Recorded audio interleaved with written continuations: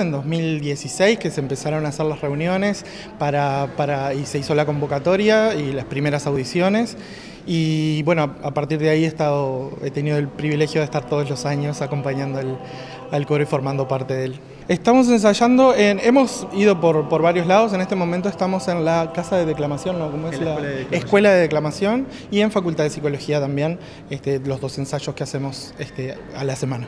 Sí, sí lo hacemos de, de, forma profesional, o sea, lo tomamos como, como cada año hay un espectáculo diferente que se requiere una formación específica para cada temática que hemos ido tocando. Hemos, este, el primer concierto fue con Padritos, que era una, un paseo por la música ciudadana de Montevideo, este, básicamente, este, y después estuvimos con... Eh, eh, Canta la América, este, CHG Canta la América, que fue un paseo por todas las canciones y música de, de Latinoamérica, entonces también requirió una formación para cantar las diferentes este, obras que se representaron ahí. Después hubo Revoluciones, el eh, ¿Y qué hay del amor? el otro espectáculo, y bueno, y hoy estamos con De Mujeres, este, para los que hemos hecho talleres eh, y, y cosas como para sensibilizar en los temas y meternos cada vez más en... ¿Cómo es el director para trabajar?